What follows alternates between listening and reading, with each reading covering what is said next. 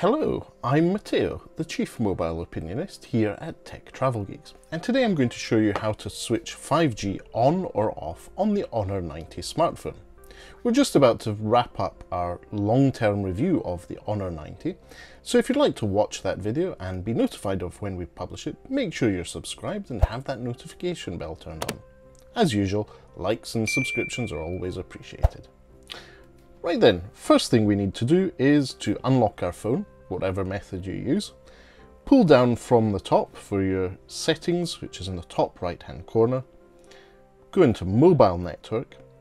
And once we've done that, we'll go into mobile data.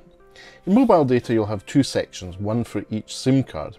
In this case, I'm going for the bottom one, and I'm going to choose at the bottom, third option from the bottom, which is preferred network mode.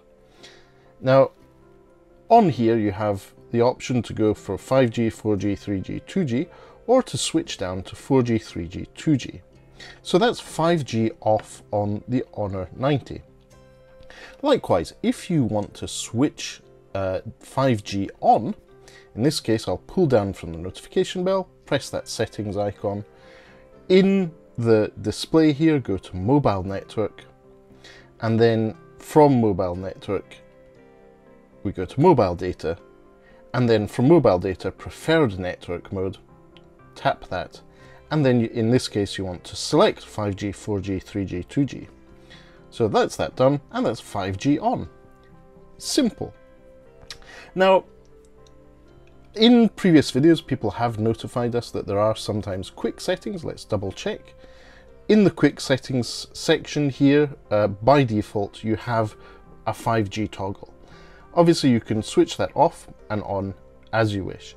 But for some people, depending on their network operator or the region they're in, this may not be available as an option.